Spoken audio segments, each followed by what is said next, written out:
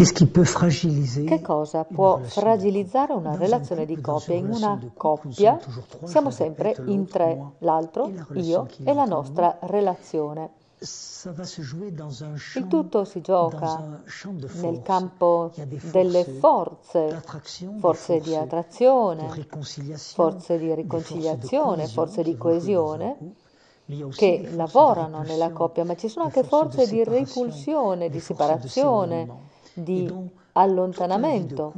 Dunque tutta la vita di coppia si gioca fra forze coesive e forze separative. Uno dei punti sensibili che ben poche coppie menzionano